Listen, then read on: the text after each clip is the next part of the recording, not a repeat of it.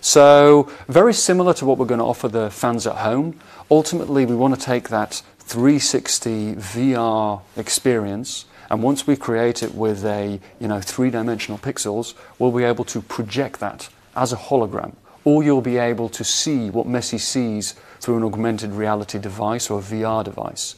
So if you're sitting in a VIP booth, you'll be able to get unique experience live during the match because of the way uh, the contents are structured.